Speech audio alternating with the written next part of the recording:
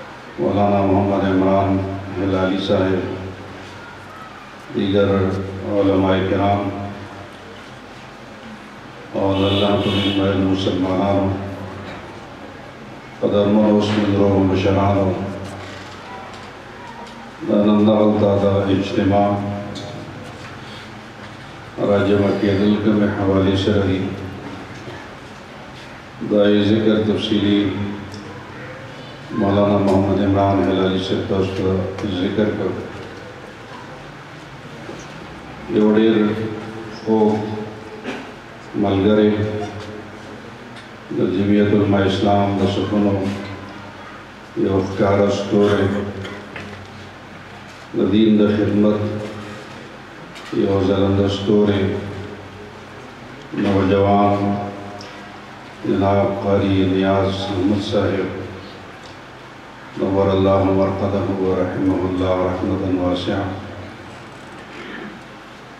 د هغوی وفات په داسې حالاتو کې شو چې هغه حالات د دنیا لپاره او خصوصا زمونږ د وطن لپاره ناګفتبه حالاتو په هغه حالاتو کې هغې ته الله پاک د شهادت رتبه ورکړه ځکه المرحوم شهید وبا سره وادارګي چې کوم د هغه تعاون سره دنیا نه ټول انسان رسول الله صلی الله علیه وسلم هغه د شهادت ګواهی ورکړي د الله نه دعا ده چې الله پاک دای مغفرت تامه کامل نصیب کړي او درجات عالیه جنت الفردوس کې نصیب کړي او دا شهادت الله خپل دربار کې قبول او منظور کړي دا غنه پس د هغه خاندان د هغه د جماعت خلک خصوصاً د بټخېلې د علاقې سره چې زیات وخت راته دلته تېر شو، اصل دي د ورتېر دي، د دغې خلکو او دارنګې د هغوی د شاګردانو، د ملګرو، د خاندان، د جمعیت علماء اسلام د ملګرو هغوی ته یو خلا او یو خفګان دا لاحق شو او پېښ شو. الله پاک دې ټولو ته د صبر توفیق نصیب کړي دعوت تعلق زموږ د کلي شیرګړ سرداري ډېر دشته دي د هغې بایګان وړه ناست دي نو ډېر ملاقاتونه به هغوی سره زموږ سره کېدل او ډېر بحث خبرې اترې اکثر جماعتي خبرې هغې باندې به هغوی سره ډېر خبره اتره کېده او یو ډېر یو فکر والا فکرمن شخص و او څنګه چې مولانا محمد عمران هلالي صاحب وایي جماعتي او سياسي ميدان کې هم دا خپل خدمات وو. که د اسکول په حوالې سره، انتظامي او ايډمنسټريشن حوالې سره د هغوی خپل صلاحيتونه او استعدادات وو او د قرآن مجيد د خدمت، تلاوت او د هغوی د عظيمو خدماتو په حواله سره د هغوی خپل خدمات دي. خو انسان همیشه لپاره نه دی راغلی او کوم وخت چې الله ته مقرر دی او کوم سبب مقرر دی بس هغه به وي لکل امت اجل هر چا لپاره ټیټه ده پیدا جا اجلهم ولا یستأخرون ساعتا ولا یستقدمون بیا ټیم راشي نو بیا مخکې رسوي نه سبب هم مقرر دی چې کوم سبب سره انسان د دنیا نه رخصتېږي. اصل څیز هغه دی چې انسان کوم مقصد لپاره دنیا ته راغلی دی او چا پسې موږ یو مشن والا خلک یو مقصد والا خلک نای پسې عام مسلمانان ملګري دای خپلان او دغه وجنې چې هغه مشن ائ کې خلا راشي خو دا ائ پور کول دا ائ چې ائ سړی هغه مشن جاري وساتي د انسان د مشن سره د بل انسان د هغه د مقصد سره هغه محبت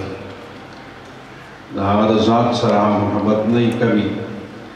بلکې د هغه دا مقصد سره وي اکابر علماء کرام يې دنيا کې وي، بزرګان يې،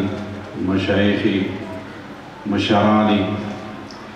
د هغوی چې کومه زندګي تېره کړې هغه زموږ لپاره ايډيل يي او هغه زموږ لپاره چې کوم يو نمونه يي. لهذا هغه نمونه باندې زندګي تېرول، د هغې مشن او مقصد جاري ساتل دا چې کوم دی هغه ضروري وي. په دې حواله سره هغوی چې کوم پروګرام سره تعلق د الله د دین خدمت چې هغه دایي کشران نور هم د هغه نه زیات تیز کړي.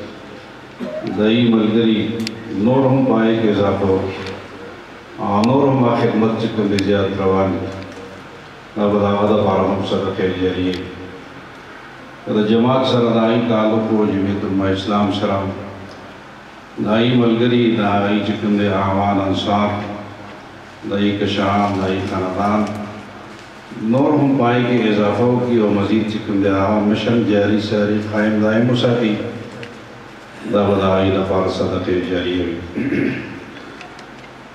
او که دا مشن موږ جاري ونه ساتو، د هغوی مقصد او کار جاري ونه ساتو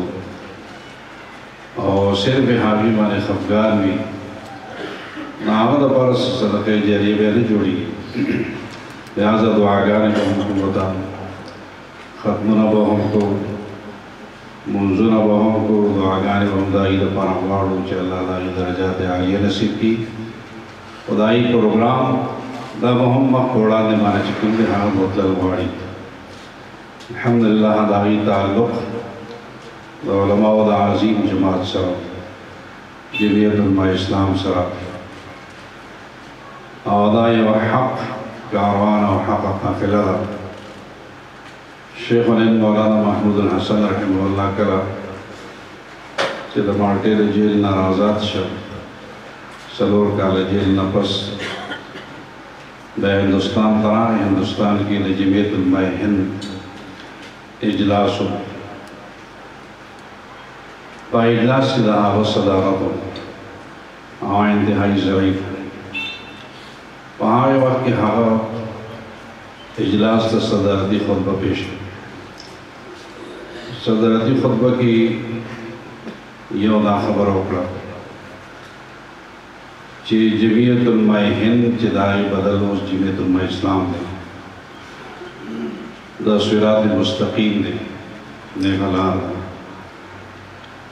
شیخ الهند رحمت الله علیه داسې نه و چې ګینې خلکو به د یو پارټۍ او د یو مشن او د یو فکر رهبر او مشر حساب و بلکې د شیخ الهند رحمت الله علیه خبره دا به سند به سند دا به دلیل او دا به حجت مسلمانانو دپاره هم هندوانو دپاره هم سیکانو دپاره هم چې دا به کومه خبره وکړه به ډېره مستنده حسابېده قوم من حیث القوم هند من حیث الهند د هغه په هره خبره باندې کلک اعتماد وکړي دا هسې عام خبره د هغه نه یو مضبوطه خبره به وه د هغه وي چې دا صراط مستقیم دی او بیا وفرمایل، آیت یې پیش کړ، وان هذا صراطی مستقیما فاتبعوه ولا تتبعوا السبل فتفرق بکم عن سبیله، نیغه لار دغه ده، د علماوو ډله ده، دې نه ګډ وډ چې کوم دی هغه شی کړي بیا به خراب شی، بیا به چې کوم دی نقصان تاسو ته ملاویږي. دغه مشن د علماو او دغه مقصد د علماو ظاهراً سیاسي او مذهبي حوالې سره لیکن د مسلمانانو ترجمان دویمه خبره شیخ رحمت الله علیه دا وفرمایله چې د رسول الله صلی الله علیه وسلم په زمانه کې ټانک نه و، جهاز نه و، دا وسلې نه وې، خو نن زمانه په هغې معنی جهاد جایز دی. دغه شان د رسول الله صلی الله علیه وسلم په زمانه کې جلسه نه وه، جلوس نه و، مظاهره نه وه، احتجاج نه و.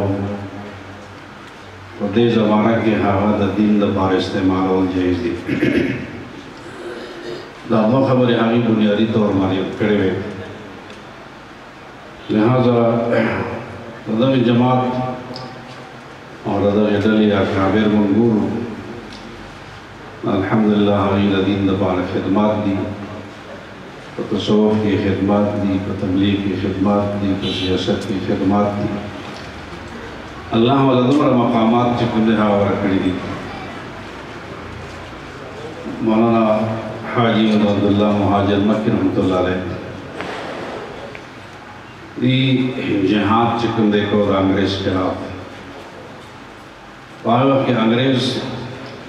د علماو خلاف سخت چې کوم دی نوټس جاري کړ او بیا خصوصا هغه پسې ځکه به هغه جهادونه به کول وي دی دې ګرفتار کړی شي ملګرو مشوره وکړه چې دی ګرفتار شي نو بیا خو زموږ تحریک ټول ختم شي او د فن به شي لهذا ده دپاره داسې انتظام پکار دی جنې چې کوم دی هغه ګرفتار نه شي اول هغه نه منله خو بیا د ملګرو د وجې نه مجبور شو راجع عبدالله یو دوی یو سړی مسلمان د هغه یو استبل نهایی کې ورې مقام تیار یو کمره وه پکې ویده استبل ته د چا خیال نشته دی کې رسولو دا کېږي په دې کې ور حاجي امدادالله صاحب دپاره ځای مقرر کړو حاجي امدادالله صاحب هايي کې چې کوم دی هايي دیرکه محفوظ ځای و مسله یې ودا کېښوده لوټه یې ودا کېښوده چې دې هر څه برابر کړل څه وخت پس راجا عبدالله صاحب وایي زه بهر ووتم داسې یو انګریز راروان و په آسماني څور وی زه پوه شوم چې څه مسله به جوړه شو او چا څه سیډي کړې ده جاسوسي کړې ده او حاجي احمد عبدالله صاحب اوس چې کوم دی هغه ګرفتارې چې اخوا لران نه ماته وي زه ستاسو استبل کې یو اس ګورم چا ماته د هغې صفت کړی هغه اس زه اخلم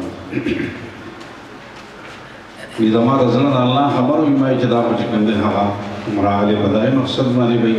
علي بن عبدالله صاحب نه خبر شوي وی داسې ګرځېدو یو اس به ما ورته وښوده بل مو وښوده وي دا لرې دا لرې دا لرې کوم ځای کې چې هغه استبل په ګوټ کې یو کمره وه چاري ځای له ورسېدو نه انګرېز افسر هغه دروازه په لته باندې وله او دروازه کولاو شو بس ما وی چې بس همدغه د ګرفتارۍ موقع ده او حاجي امدادالله صاحب ګرفتاریږي او زما سره لوی غم دا و چې چونکې زما په پناه کې و ما وله ځای ورکړی وي ما یې چې دا خلک وایي چې دا ده غداري وکړه او ده پې خلق خبر کړه انګریزانو پې خبر کړه ما سره لوی خبر دا هم وه چې څنګه دروازه کولاو شو نو انګریز افسر هم کتل او ما هم کتل هلته حاجي امدادالله صاحب موجود نه و نو په زړه کې خوشحاله شوم چې د الله له طرفه څه امداد راغلی خو انګریز په دې پوه نه شو واپس چې کله راووت او انګرېز ما رخصت کړ، هغه وي چې ما کوم اس کته نه هغدلته نه و، لاړ، چې لاړ زه واپس په منډه منډه راغلم، وايي چې حبيب جان حاجي امداد الله صاحب کوم خوا لاړ،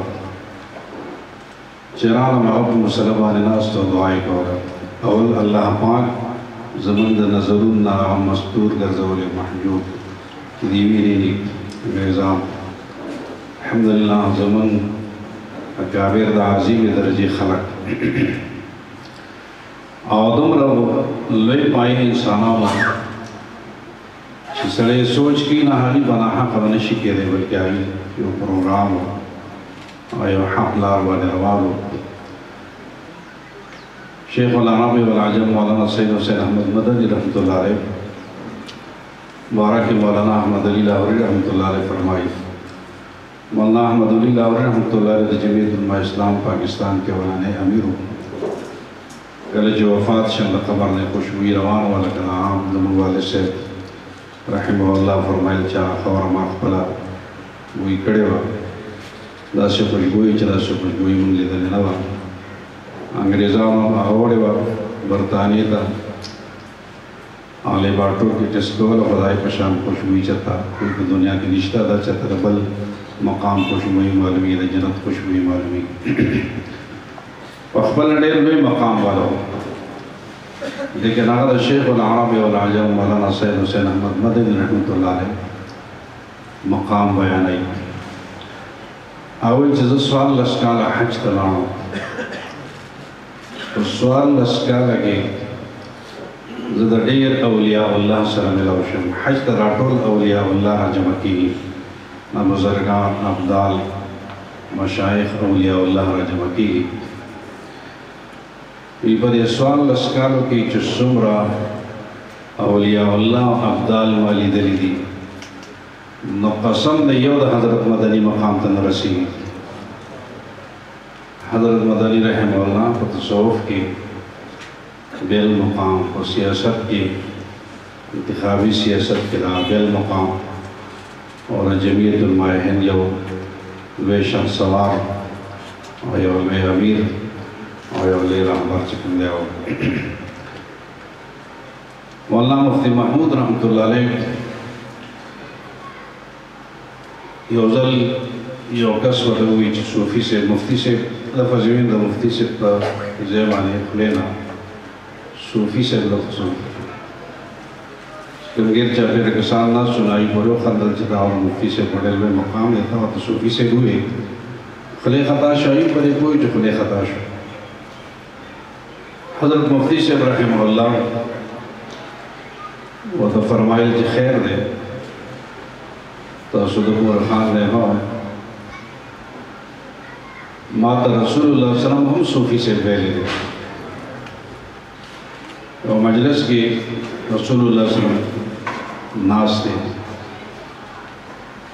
او یو سړی لاړ د رسول الله صلی الله علیه وسلم تپوس کی او د یو ګټ کې مولانا مفتی محمود رحمت الله علیه ناست چې کله رسول الله صلی الله علیه وسلم د مسلې تپوس کی یا څه تپوس کی ناو ته وایي یو مجلس ته داس رسول الله صلی الله علیه وسلم ته فرمایي چې دا یو ګټ کې کوم صوفي صاحب ناست دی نه تپوس وکړي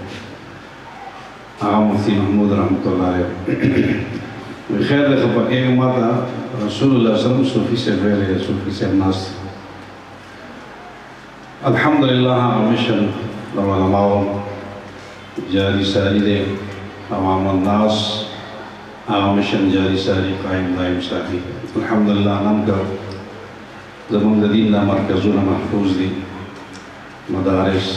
مساجد، مراکز له دې انکار دی شروع دی.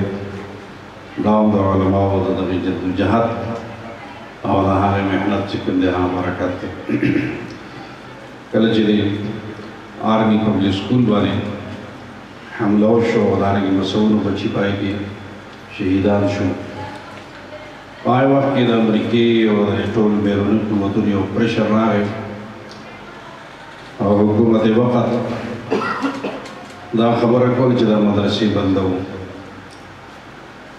او دې باندې مختلف پابندۍ چې کوم دې خودلو یو ډېر پانه قصه نه اوسانه خبره ټول ته پته ده مدارس باندې سخت حالات راغلل سخت پریشانه تشویش حالات راغلل الحمدلله علی کې قائد ملت اسلامیه مولانا فضل الرحمن صاحب مدظله العالی چې هغوی د حکومت سره یا دغه حالاتو کې کوم کوشش او محنت وکړ او کوم قوت او زور بیان استعمال کړ د هغوی چې شمدید خبره آئی مونږ ته د وفاق المدارس العربیه پاکستان په مرکزي عاملې په اجلاس کې اسلام اباد کې راوښتل شو. نعره تکبیر نعره تکبیر اکابر علماء دیوبند جمعیت علماء اسلام حضرت مولانا فضل الرحمن صاحب هغه د وفاق المدارس په اجلاس کې دا حالات چې کوم دی بیان ډېر کابل ناسو شیخ مولانا سلیم الله خان صاحب رحمت الله علیه ډاکټر روزان صاحب سکندر صاحب مدد الله علی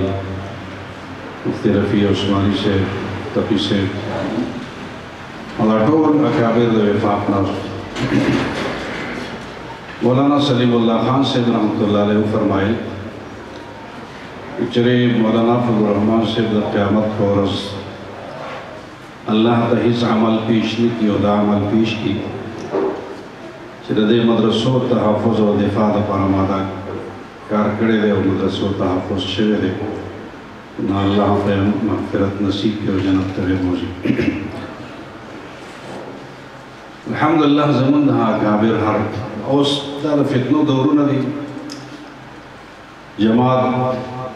سیاسی حوالې سره مذهبي حوالې سره مدارس دي دینی سوچ والا خلق دي په خپل خپل ځای باندې هغه هم اهم کردار چې کوم دی ادا کوي رسول الله صلی الله علیه وسلم فرمایي داسې زمانه به راشي چې دا خلک د ایمان ټینګول به ګران دي یصبح رجل مؤمنا ویمسي کافرا ویمسي مؤمنا ویصبح کافرا سهار به سړی مسلمان وي ماښام به کافر وي ایمان به نشي راټینګېدی ماښام به مسلمان وي سهار به کافر وي یبیع دینه بعرض من الدنیا د دنیا د لږ لالچ لپاره به آخرت چې کوم دی هغه پرېږدي او د دنیا لږ لالچ به اخلي دین به پاتې جومات به پاتې عالم به پاتې لہذا دی وخت کې هم خپل ایمان را بچ کول دا یې فکر چې کوم دی پکار دی علماو مرګرتیا علماء سره ناست الحمدلله قاری نیاز صاحب هغه سره ټول عمر د علماء په لمن کې تیر کړی دا او چا چا سره محبت نه آخرت کې ودایي سره المرء مع من حب رسول الله صلی الله علیه وسلم چې کوم دی فرمایلی دې نږدې دور کې اوس چې کوم خبر ډېر راوچته شو ختم نبوت په حواله سره ناموس رسالت په حواله سره الحمدلله زمونږ کابلو داس یو کردار پای کې ادا کړی دی چې ډېر وخت پورې با کردار د قادیانانو لپاره چې کوم دی او دارنګه د بيدینو خلکو لپاره چې کوم دی د تشویش او دارنګه د رکاوټ چې کوم دی باعث شي کله تحریک شروع شو سن چورتر کې او اولنې مونږ ته یاد شي او دا مشران ودي ته هم یاد شي چې اولنې تحریک چې کله شروع شو کوم ورځ باندې په ورځ باندې مفکر اسلام مولانا مفتی محمود رحمت الله علیه په دارالعلوم شیرګل کې یو دستربندي و 1974 کې پای کې اولنی خطاب د قادیان متحری آغاز د هغې نه وشو د شپې ماسخوتن ټیم کې د هغې علامه شمس الحق افغاني صاحب رحمت الله علیه مولانا وزیر ګل صاحب رحمت الله علیه شیخ الحدیث مولانا عبدالحق صاحب رحمت الله علیه دا اکابر دا ټول هغې کې شریک دي اولنی بیان هغوی د نوم شګړ کې د قادیانیت خلاف او د ختم نبوت باندې وکړ چې کوم کسان مسلمانانو او ربعې باندې راغلل نوجوانان هلکان د کالج هغه هغوی شهیدان کړل تحریک د دغه ځای نه شروع شو او په سبا باندې بیا په مردان کې هغوی پریس کانفرنس هم وکړ.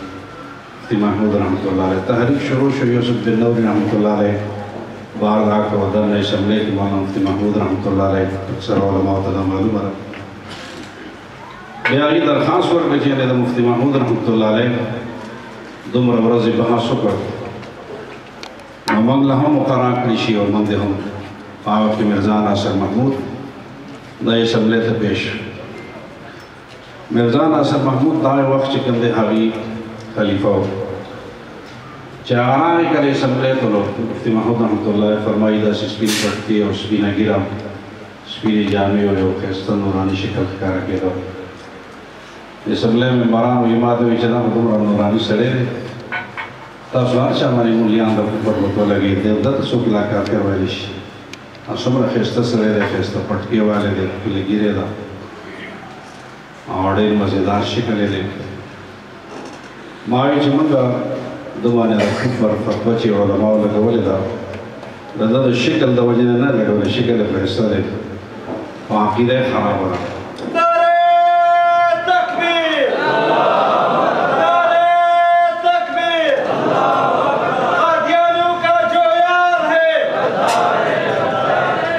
بیا چې کله شروع شو نو هغه مفتي محمود رحمت الله علیه ورته فرمایل چې دی چې څوک غلام احمد قادیاني باندې ایمان نه وروړي نو هغه ته تاسو کافر وایئ نارنج موږ په هغه ته کافر نه وایو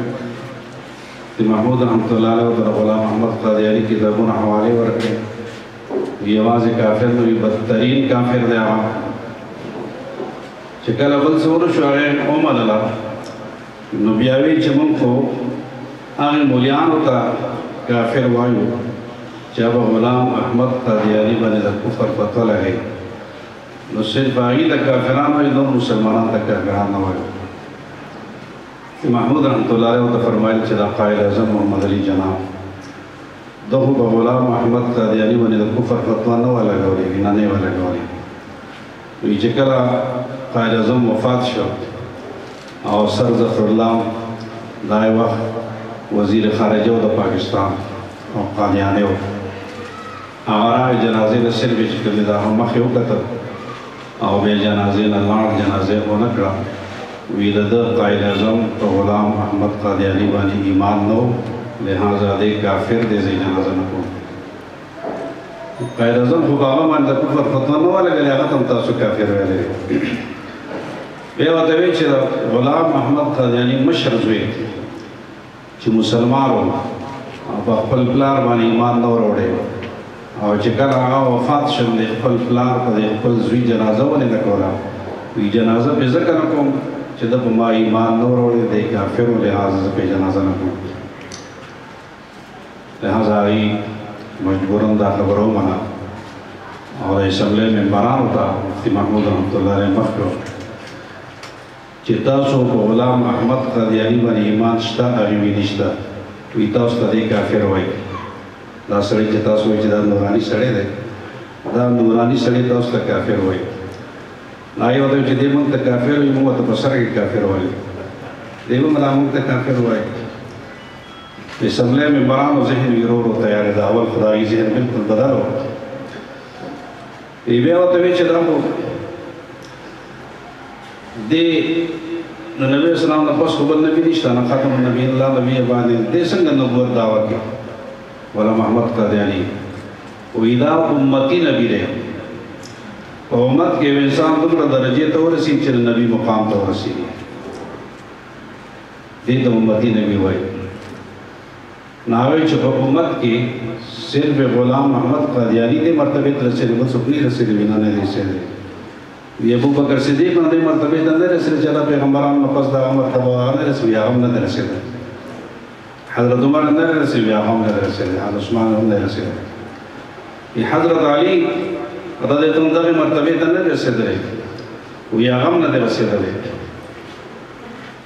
وی چی حضرت علی هم نوم شیعګان وه نو شیعګانو به بل جوړ کړو اسمبلی کی چی دا سړی خو غټ کافر دی وی ما چی نور هم پکی چی کوم دی هغه لار بیا موندله ما ورته بیا نور هم ویل چی آیا حضرت حسن او حضرت حسین چی شهید کربلا او په کربلا کی دومره لوی قربانه ورکړی دی او تا اوس چی کوم دی خلک دا هغه څوک منوی